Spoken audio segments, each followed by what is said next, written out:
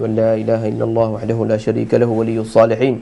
وأشهد أن سيدنا ونبينا محمدا عبده ورسوله إمام الأنبياء والمرسلين صلى الله عليه وسلم وعلى آله وصحبه أجمعين. أما بعد فهذه إجابة على طائفة من الأسئلة التي طرحها الإخوة والأخوات عبر آه، موقع المجرة آه، الإلكتروني.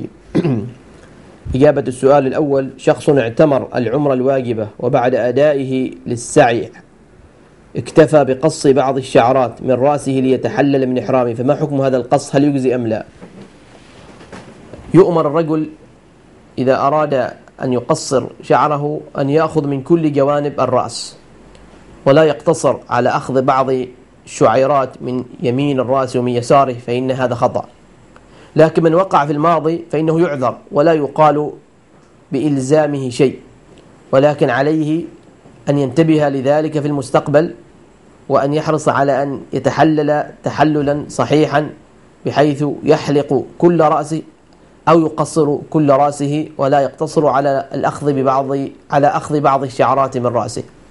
أما المرأة فإنها تقصر شعرها من أطرافه بحيث تجمع شعرها وتأخذ من أطرافه قدر أنمله أو قدر خمسة سنتيمتر.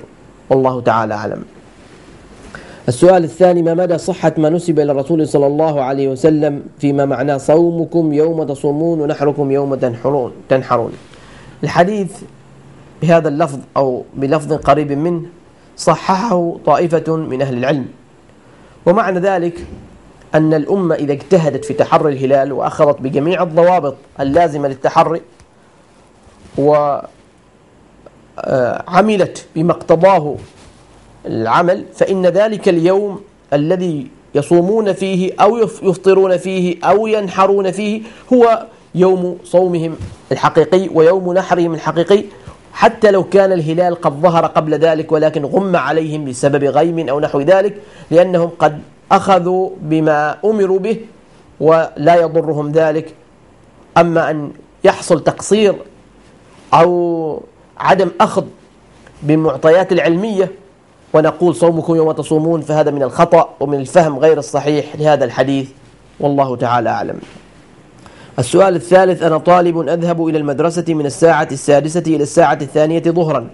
أصلي جميع الصلوات جماعة بالمسجد ما عدا صلاة العصر لأني عندما أعود من المدرسة أكون مرهقا فلا يتسنى لي النوم لمدة كافية حيث إني أعود من المدرسة الساعة الثانية تقريبا وصلاة العصر تكون على الساعة الرابعة تقريبا. في هذه الحالة هل يحق لي عدم الذهاب للمسجد لأداء الصلاة جماعة؟ أم يجب علي أن أصليها جماعة؟ الجواب عليك أن تجتهد في الذهاب إلى المسجد لأداء صلاة الجماعة. وإذا وصلت الساعة الثانية والصلاة العصر الساعة الرابعة فإنه يمكنك أن تكتفي بساعة واحدة من النوم. وهذا يتأتى بالعزيمة والحرص والمثابرة وتضبيط المنبه أو آه، الاستعانة بالأهل يوقظوك للصلاة في وقتها. ولكن إن اتخذت جميع هذه الوسائل ومع ذلك غلبك النوم بحيث لم تستطع الاستيقاظ فإنك معذور في هذه الحالة وعندما تستيقظ أد الصلاة والله تعالى أولى بعذرك. السؤال الرابع وهو سؤال طويل تقول أنا امرأة مصلية وملتزمة بالحجاب الشرعي والحمد لله وأقرأ القرآن وأقوم الليل إلا أني أشعر بأن ربي غير راض عني وذلك بسبب بعض الذنوب رغم أني عندما أذنب أستغفر ربي ولكن أحس أن ربي غير راض عني حتى أنني حتى أنني أقول في نفسي في بعض الأحيان لماذا أستغفر وأنا أعلم أن ربي غير راض عني متخذ مما يجري في حياتي من مشاكل برهانا لعدم رضا ربي عني. دائما أدعو بالذهاب إلى العمرة ولم أذهب حتى الآن وقلبي متعلق بمكة وأريد الذهاب وكثيرا أحلم بالحرم المكي فأقول في نفسي ربما ربي غير راض عني. وهذا يدفعني إلى الشك بنفسي. إلى آخر آه، سؤالها. الجواب. الإنسان يؤمر أن يكون قويا. يؤمر المؤمن أن يكون قويا. ولهذا الله تعالى قال ليحيى يا يحيى خذ الكتاب بقوة. والرسول صلى الله عليه وسلم يقول المؤمن القوي خير وأحب إلى الله من المؤمن الضعيف. والمؤمن القوي هو المؤمن القوي في عقيدته وفي فكره وفي عزيمته وفي جسمه وفي كل جوانب حياته. وعندما يكون الإنسان ضعيفا فإن الشيطان يستغل ضعفه فيلقي إليه أمثال هذه الأفكار والوساوس والشكوك بحيث أنه يربط بين ما يحصل له في الحياة من مشكلات أو ما يقع فيه من أخطاء وبين رضا الله تعالى عنه. فيفسرها بأن هذا دليل على سخط الله تعالى عليك وهذا غير صحيح. فإننا لو نظرنا إلى الأنبياء عليهم السلام وهم أفضل الخلق هم أكثر الناس ابتلاء في هذه الحياة وتعرضوا للكثير من المشكلات فتعرضوا لفقد الحبيب ولنكاية العدو وللإيذاء الحسي والمعنوي ووقع لهم كثير مما يقع للناس من الأشياء التي لا بد من وقوعها في الحياة. فهل هذا دليل أن الله غير راض عنهم؟ بطبيعة الحال ليس الأمر كذلك. وإنما الله عز وجل يبتلي عباده بالخير والشر ونبلوكم بالشر والخير فتنة. ولنبلونكم بشيء من الخوف والجوع ونقص من الأموال والأنفس والثمرات. وبشر الصابرين. فأنصحك أختي بتجاهل هذه الأفكار وهذه الوساوس التي يلقيها الشيطان إلى نفسك. ولا تقاوميها أو تطرديها أو تشدين على نفسك وعلى أعصابك وإنما رخي أعصابك وتجاهلي هذا الشعور الذي تشعرين به وانظري إلى الأشياء الإيجابية التي معك. فأنت بحمد الله تصلين. هنالك آلاف النساء اللاتي لا يصلين. وأنت تصومين رمضان وأنت متحجبة وأنت تقرأين القرآن وأنت مع, مع ذنوبك تستغفرين. فهذه أشياء إيجابية تدفعك إلى الرضا وإلى الراحة. وإلى مزيد العمل الصالح. فإن الله تعالى إذا علم منك صدق النية وصدق التوجه إليه فسيوفقك عاجلا أو آجلا بفضله ومنه إلى التوبة وستكون خاتمتك خاتمة حسنة بإذن الله عز وجل. فاستبشري بذلك وتجاهلي هذا الشعور واحرصي على عمل الخير. وإذا وقعت في ذنب أو خطأ مهما كبر ارجعي إلى الله باستغفار. فإن الله تعالى يقبل العبد ما استغفر وتاب إليه حتى لو عاد إلى الذنب مرات ومرات. والله تعالى أعلم. السؤال الخامس هل يجوز للأرملة أن تذهب إلى بيت أهل زوجها المتوفى وتبقى معهم يوما في الأسبوع من الصباح حتى الليل علما بأنه يوجد إخوة لزوجها؟ الجواب المرأة المعتدة تعتد في بيت الزوجية ولا تبيت في غيره. أما إن احتاجت في بعض الأحيان إلى أن تخرج في النهار للتخفيف عن نفسها أو لزيارة أحد فلا تمنع من ذلك. آه، ولا ينبغي أن تطيل البقاء. آه، فمثلا تذهب قبيل الظهر وتتناول وجبة الغداء معهم ثم بعد ذلك ترجع إلى بيتها ولا تبقى إلى المساء. هذا أفضل لها. وتخرج كغيرها من النساء في كامل سترها وحيائها ووجود إخوة زوجها في بيت أهل زوجها لا يمنعها من الدخول إلى هنالك ما دامت لا تصافحهم ولا تختلي بهم. وليس الأمر كما يعتقد بعض الناس أنهم إذا نظروا إليها أو آه، صادف دخولها وجودهم أن ذلك يؤثر على العدة فإن هذه من الاعتقادات الخاطئة التي لا أساس لها من الصحة. هل للأرملة أن تعطي وكالة عامة لأخي زوجها المتوفي؟ نعم. إذا كان ثقة أمينا فلها أن تعطيه الوكالة ولكن لتحذر من أن يحصل بينها وبينه شيء مما لا يحل شرعا كالانبساط في الحديث أو الخلوة أو التكشف وإنما تتعامل معه بمقدار الحاجة فقط مع كامل سترها وحيائها والتزامها بالأداب الشرعية. سؤال إذا قام وكيل الأرمل بشراء أرض الورثة ولم يتم تقسيم المال وظهر أن للزوجة حقا حقا أو صداقا فهل على الوكيل أن يدفع المال من حسابه؟ هذا السؤال غير واضح فأرجو من الأخت السائلة أن تعيد طرحه مرة أخرى. هل يجوز ترك المال الموروث دون تقسيم على الورثة؟ لا يجوز ذلك إلا برضا الورثة جميعا. الأصل في المال أن يسارع إلى تقسيمه بعد أن تقضى الديون وأن تنفذ الوصايا يقسم المال ولا يحرم وارث من حقه. إلا إذا اتفق الورثة جميعا على عدم قسمته ويبقى على حاله فذلك راجع إليهم. هل يجوز أخذ الزكاة للأيتام علما بأنهم يتقاضون راتبا يكفيهم لمصاريفهم ويبقى منه القليل لمحاولة بناء منزل لهم أو عمل مشروع؟ ما دام آه، راتبهم أو دخلهم يكفيهم لاحتياجاتهم من سكن وأكر من سكن ومأكل ومشرب وملبس واحتياجات أخرى ضرورية فلا يعطون من الزكاة.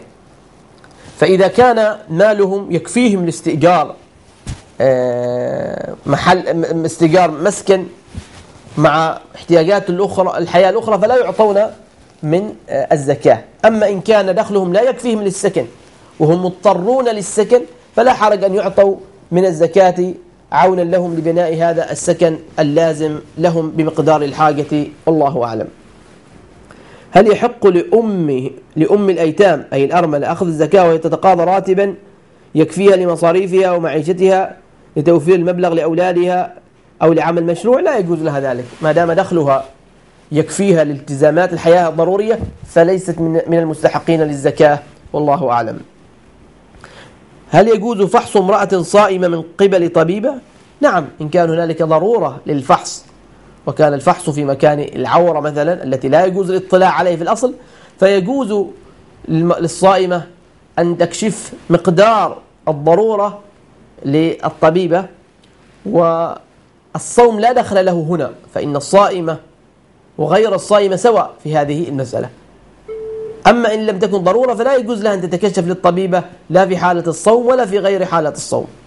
أما إن كان الفحص في مكان لا يعد عورة بالنسبة للمرأة كيدها أو آه، قدمها مثلا فإنها لا تمنع من كشف ذلك للمرأة فإن هذا ليس من العورة بين المسلمات. في إحدى أيام رمضان أفطرت بسبب توقعي لنزول الحيض ثم تبين لي بأنه ليس بدم حيض ماذا علي؟ الجواب إن نزل منك دم وظننتيه أنه دم حيض فأفطرت فليس عليك إلا قضاء هذا اليوم. أما إن أفطرت قبل أن ينزل منك شيء بحيث كنت تتوقعين نزول الحيض ولكن قبل أن ينزل شيء أفطرت تعجلا فهذا لا يجوز لك وعليك التوبة والقضاء والكفارة. يقول السائل لأخت أرضعتها جدتي أم والدي. فأختي يحرم عليها الزواج من أبناء أعمامي وعماتي. وسؤالي في حكم زواجي من بنات أعمامي وبنات عماتي. لا تمنع من ذلك. هذه البنت هذه أختك بما أن أختك هي التي تم رضاعها فلا يحرم عليك أن تتزوج من بنات عماتك أو بنات أعمامك إن كن لم ترضعهن جدتك أو أمك أو أحد من القريبات التي يؤثر رضاعهن في حلية الزواج منهن. خلاصة الجواب إن كانت المرضعة هي أختك ولا يوجد في المسألة رضاع غير هذا فلا تمنع أنت من الزواج من بنات عمك أو بنات عماتك. تقول أنا أحب ولد خالي وهذا حب من طرفين ونريد أن نتزوج لأن حبنا صادق مع العلم أنني في مرحلة جامعية وبيننا تواصل. ولكنه شريف دون مقابلات وغير من الفواحش. ولكن عندما أخبرته أن يخبر والده بأمر رغبتنا في الزواج قال بأنه سيستخير وعندما استخار رأى شيئا سيئا وقال لي ليس الوقت مناسبا لإخباري سأخبره عندما أنهي دراستي الجامعة بعد سنة. فما قولك يا شيخنا في هذا الموضوع؟ قولي لك أولا عليك أن تقطعي كل صور الاتصال مع قريبك هذا حتى لا يجركم الحديث إلى تعلق شديد بحيث لا تستغنين عنه ولا يستغني عنك كما وقع ذلك لكثير من الناس. لأنكم الآن لا تعلمون هل سيتم هذا الزواج أو لا يتم. ثم أن هذا الاتصال قد يجركم إلى أمور أخرى والشيطان يفتح للإنسان منافذ بسيطة ثم يوسعها له بعد ذلك حتى يوقعه في الفخ. فنصيحتي لك أن تقطعي كل صور الاتصال بقريبك هذا وتقولي له بالحرف الواحد أنا راغبة فيك ولكن نتوقف عن كل صور هذا حتى تتقدم إلى أهله فإن تقدم تزوجتيه على بركة الله. هذه النقطة الثانية. النقطة الثانية إذا وصل الوقت الذي تري تري ترينه مناسبا لزواجك فلا تنتظري أحدا وإنما ركزي على أول من يتقدم عليك ممن ترضين دينه وخلقه. أما أن تنتظري قريبك هذا الذي هو لم يحسم موقفه لحد الآن بعد وتمر السن السنون ففي هذه مخاطرة وكثير من النساء وصلن إلى سن العنوسة بسبب طول الانتظار. السؤال التاسع يوجد رجل يعمل في المقاولات اسمه ألف. يأخذ تنفيذ أعمال من شركة كبيرة. وأنا باء وأخي جيم فنملك مؤسسة مقاولات صغيرة. جاءنا هذا الرجل ألف وعرض علينا الشراكة بتنفيذ مشروع بناء واتفقنا على أن نقوم نحن باء وجيم بتمويل مشروع والقيام بالمراقبة المالية للمشتريات والمصاريف وسير العمل على أن يقوم ألف بتنفيذ الأعمال وتوفير ما يلزم من العمالة والمعدات. وعلى أن تكون عليه المسؤولية الكاملة في نهاية وتسليم الأعمال واتفقنا على تقسيم الأرباح بنسب معينة ثم قمنا بتسليم دفعة من المال وحيث أن خمسين ألفا للمباشر بالعمل. ولكنه لم يقم بشيء وبدأ يماطل ويتهرب على مؤسستنا. ويتهرب وعلى مؤسستنا التزام تجاه الشركة الكبيرة. قمنا نحن بتنفيذ الأعمال وتوفير كل ما يلزم. والغريب في الموضوع أنه بعد فترة قصيرة أصبح هذا الرجل موظفا في الشركة الكبيرة. في موقع مسؤولية تخول وتسليم الأعمال المقاولين الصغار. فقام بتسليم أجزاء كبيرة من الأعمال التي يفترض أنها لنا إلى مقاول آخر. وأخذ منه رشوة مقابل ذلك وقابل معه مضايقات كثيرة لنا. هذا السؤال من هذه المسألة مسألة دعوة فإذا لم تتفقوا على شيء فارفعوا أمركم إلى القضاء الشرعي مؤيدين دعواكم بالحجج والبراهين التي تدل على صدق قولكم في هذا. والقضاء الشرعي هو المخول وحده بأن يرد لكم حقكم إن كان لكم حق على هذا الرجل. آه، هل يصح وضع قصاصات ورقية مكتوب عليه آيات قرآنية تحت بيت جديد يبنى؟ إن كان يقصد من ذلك حفظها عن التلف فلا مانع من ذلك بشرط أن تكون بعيدا عن المياه وعن النجاسات بحيث آه، توضع الاحتياطات اللازمة لعدم تسرب شيء من المياه أو النجاسات إليها. ما هو الحظ؟ وهل يمكن أن نطلق على فلان بأنه محظوظ؟ وغير من العبارات المنتشرة أم أنه المسألة توفيق من الله عز وجل ولا وجود لشيء اسمه الحظ؟ طبعا الكل بتوفيق الله عز وجل. لا يتحرك متحرك ولا يسكن ساكن إلا بتقدير الله عز وجل. فقد يقدر الله تعالى لإنسان خيرا ويقدر لإنسان شرا ويقدر لإنسان التوفيق ويقدر لآخر عدم التوفيق. ولذلك عندما نطلق على شيء بأنه حظ ينبغي ألا نقصد بأنه حظ مجرد. هكذا من غير تقدير الله فهذا لا يجوز في عقيدة المسلمين. وإنما إن أطلقنا حظ نعني أنه حصل له من غير تسبب منه. أو من غير أن يجتهد في الحصول عليه وإنما حصل له هكذا. فهذا نقصد بالحظ ولا نقصد أنه حصل هكذا من غير تقدير من الله عز وجل. عندما ينسى الإمام الجلوس في التحيات الأولى ماذا عليه؟ إن نسي الإمام أو المنفرد التشهد الأول وانتصب قائما ولم ينتبه حتى انتصب قائما فإنه يمضي على صلاته ويسجد لسهوه في آخر الصلاة قبل التسليم. ما حكم الاستغفار طلبا للرزق؟ بأن يكثر المرء من الاستغفار راجيا من الله أن يرزقه الذرية الصالحة أو الحياة أو غير ذلك. لا مانع من ذلك بل ذلك مما يؤمر به. فإن الاستغفار يفتح أبواب الرزق ويكون سببا للإمداد بالذرية ولكشف الكرب ورفع الهم وفوائد الاستغفار كثيرة. فيؤمر الإنسان أن يكثر من الاستغفار و ولو كان يقصر من ذلك حصول هذه الأشياء له فلا مانع من ذلك شرعا. آه، يقول السائل أبي متوفى والوالدة على قيد الحياة ولكن مشكلته أنني لا أستطيع السلام عليه لفترة طويلة إلا بالصدفة بسبب أنها تقيم عند أخي المتوسط وبسبب مشاكل عائلية بيني وبين أخي حاولت عدة مرات المسامحة لكن هو يرفض ما العمل وهل علي ذنب. عليك أن تتواصل مع أمك بكل وسائل الاتصال الممكنة لك. فإن كان يمكنك أن تذهب لزيارتها في بيت أخيك فعليك أن تذهب لزيارتها. وإن كان يمكنك أن تضيفها في بيتك فعليك ذلك. وإن تعذر هذان السبيلان فأرسل إليها السلام والهدايا والاتصالات وابذل كل جهدك من أجل أمك. وكذا بالنسبة لأخيك اسعى إلى الإصلاح قدر استطاعتك. فإذا بذلت ما في وسعك فلا تكلف ما لا تستطيع. والله أولى بعذرك. والله أعلم. هل يجوز للمغترب وهو بخارج البلد الزواج من مسلمة خوفا من الوقوع في الزنا بموافقة أهلها وبدون علم أهل الرجل وبدون علم الوالدين برغبته بالزواج وأنه سوف يتزوج ولا يرغب بإخبار والديه؟ يجوز للرجل أن يتزوج المرأة برضاها وإذن وليها ومهر وشهود. ولكن بشرط أن يكون راغبا فيها. ولا, يكو ولا تكون رغبته مؤقتة بحيث ينوي أن يتزوجها لفترة ثم يطلقها وإنما ينوي أن يستمر معها ما لم تحل الظروف بينه وبين ذلك. نعم يؤمر بإخبار والديه. حرصا على برهما وخوفا من غضبهما لأن غضب الوالدين ليس بالأمر الهين. وليتلطف في إخبارهما ويبرز لهما شدة رغبته في الزواج وخوفه على نفسه من الفتن.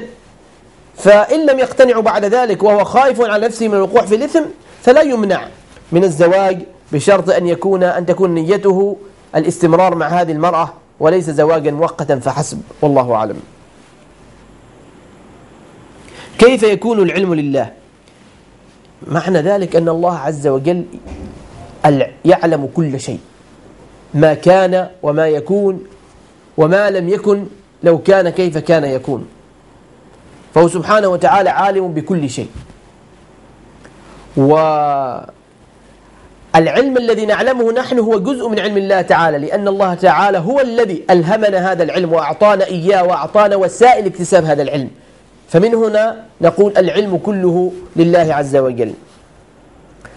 امرأة عند تقول الامرأة عندي ذهب مر عليه حول كامل ولم أخرج الزكاة ولكن خلال نصف السنة أخرجت الزكاة وأعطيتها والدي. فهل هذا يجوز؟ إن كان والدك من المستحقين للزكاة ولم تكوني آه، تعولينه فلا حرج عليك في ذلك أما إن كان والدك غير مستحق بأن كان غنيا أو مستكفيا أو كنت تعولينه بنفسك فلا يحل فلا يحق لك أن تدفعي له زكاتك.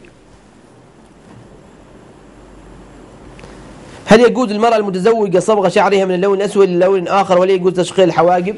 الذي عليه فتوى سماحة الشيخ المفتي أنه لا يجوز تشقير الحواجب ولا تشقير شعر الرأس إن كان أسودا وإنما تحافظ على سواده لأنه شعر الفطرة والله أعلم. تقول أو يقول أنا مسافر من الشرقية إلى مسقط. وصلت مسقط وقت المغرب فلم أصلي. فحان وقت صلاة العشاء فعند دخولي المسجد كان الإمام يؤم المصلين بصلاة العشاء. في هذه الحالة هل يصلي العشاء أم يصلي المغرب؟ الجواب صلي المغرب. ابتعد عنهم إن كان المسجد واسعا ابتعد عنهم وصلي المغرب ثم استدرك العشاء. وإن كان ضيقا فصلي معهم نافلة وبعد الفراغ أدي صلاتك بنفسك المغرب ثلاثا والعشاء ركعتين إن كنت مسافرا والله أعلم. آه، يقول السائل رجل رأى عورة امرأة ويريد الزواج منها فهل تحرم عليه؟ إن كان رأى عورتها فقط ولم يباشرها فالفتوى على أنه يجوز له أن يتزوج بها. والمسألة فيها خلاف بين أهل العلم من نظر إلى عورة إلى فرج امرأة أو لمس فرجها هل له أن يتزوجها أم لا؟ فيه خلاف. لكن الفتوى أنه ما لم يباشرها آه، فإنه ولم يولج له أن يتزوجها مع التوبة النصوح إلى الله عز وجل والله أعلم. يقول ما قولكم في من كبر تكبيرة الإحرام قبل التوجيه سهوا؟ هل عليه إعادة الصلاة؟ لا, لا إعادة عليه. بما أنه ترك التوجيه سهوا فإنه يستمر على صلاته ولا تلزمه الإعادة والله أعلم. ما قولكم في, في شخص غير متيقن أنه لم يكبر تكبيرة الإحرام؟ في صلوات صلاة قبل سبع سنوات فهل عليه إعادة الصلاة؟ ليس عليه إعادة الصلاة. الإنسان إذا دخل في الصلاة وبعد ما شرع فيها وبدأ يقرأ شك في تكبيرة الحرام لا يلتفت إلى الشك. فكيف إذا كان هذا شك في صلوات قد أداها منذ سبع سنوات؟ فمن باب أولى لا تلزمه الإعادة ولا يلتفت إلى هذا الشك وليحسن المستقبل والله أولى بالعفو عنه.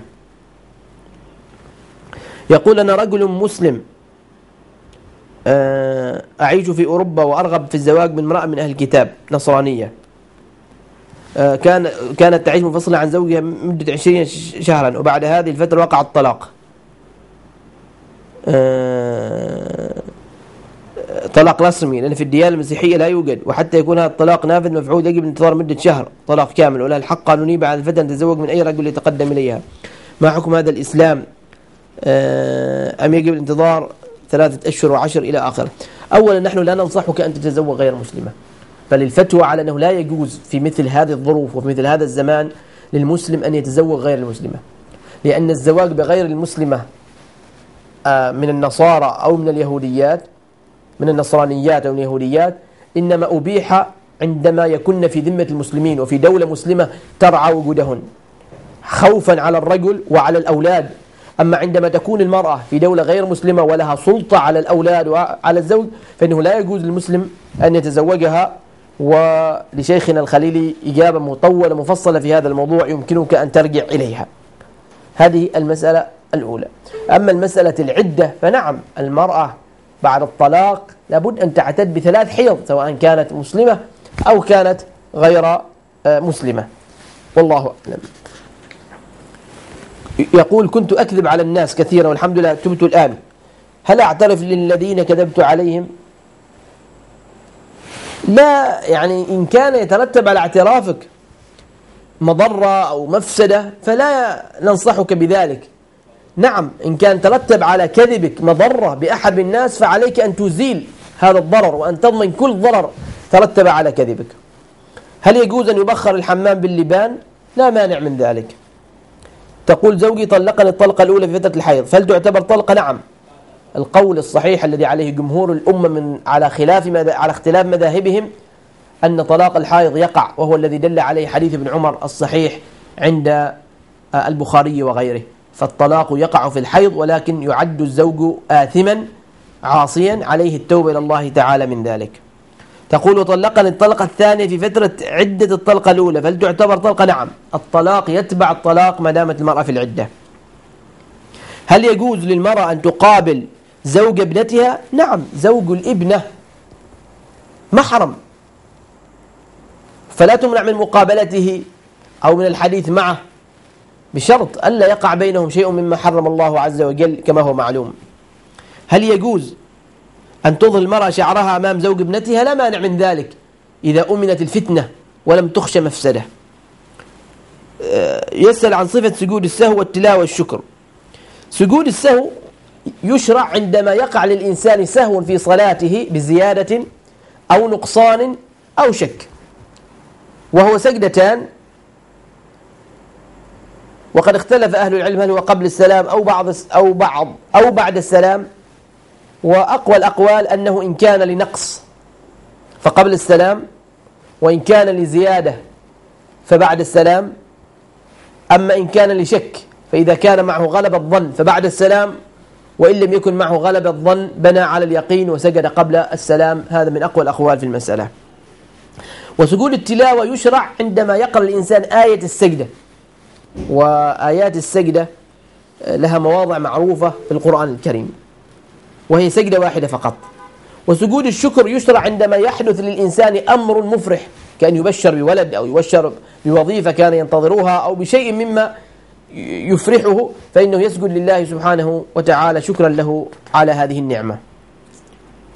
ما حكم الإسلام في الدبلة؟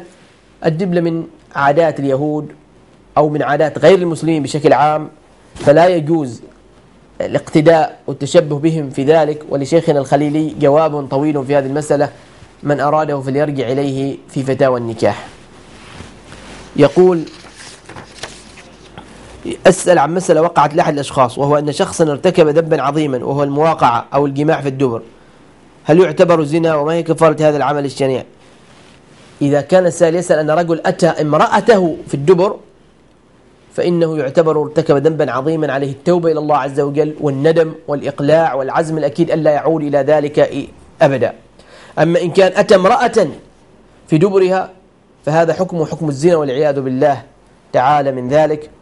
وعليه التوبة لله عز وجل. وإن كانت المرأة صبية أو مكرهة أو أمة أو مجنونة فعليه لها العقر وهو نصف عشر ديتها. أما إن كانت بالغة عاقلة حرة مختارة فلا شيء عليه لها وإنما يتوب بينه وبين ربه عز وجل.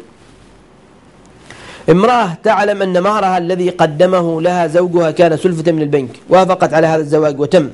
وبعد أربعة أشهر من الزواج حدثت مشاكل وصلت إلى حد الطلاق. هل المهر الربوي سبب لعدم التوفيق في الزواج؟ وماذا عن الذهب الذي اشترته؟ وماذا تصنع به؟ الله أعلم. أولا نحن نقول أن المعاصي لها أثر في عدم التوفيق في حصول المشكلات في الحياة كما نص على ذلك القرآن الكريم.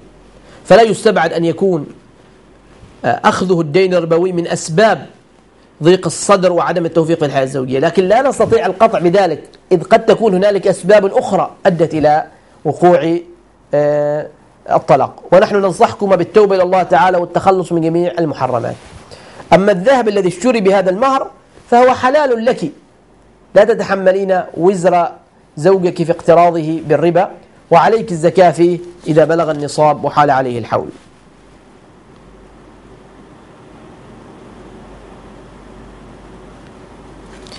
يقول تعلمت بعضا من أسرار الحروف وأسماء الله الحسنى.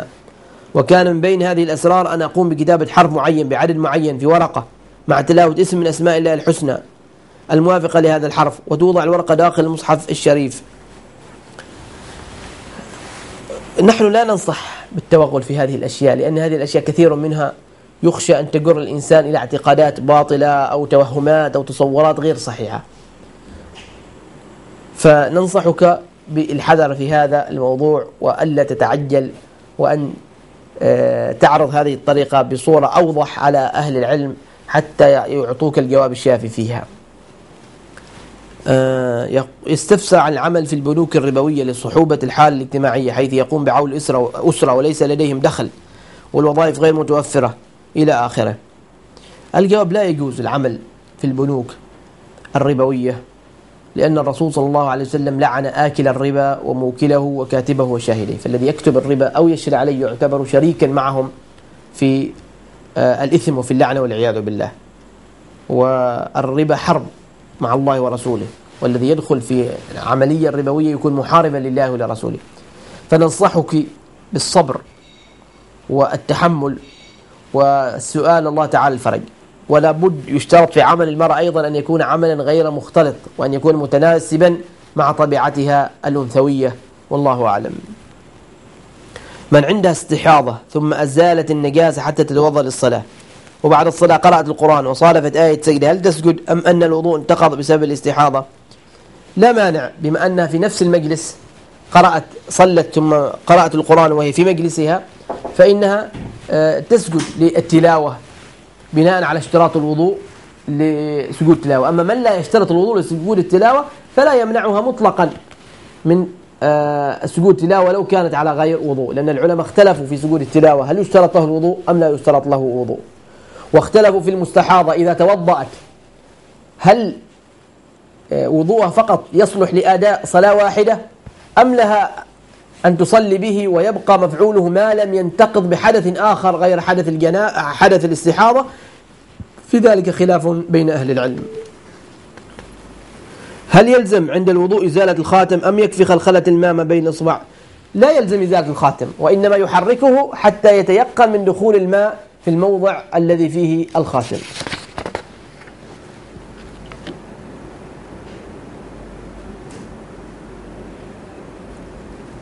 يسأل يقول كنت مبتلى بعادة الاستمناء باليد وهي قضية التصقت بي منذ القدم ولم أستطع أن أوقفها ومقبل الآن على الزواج.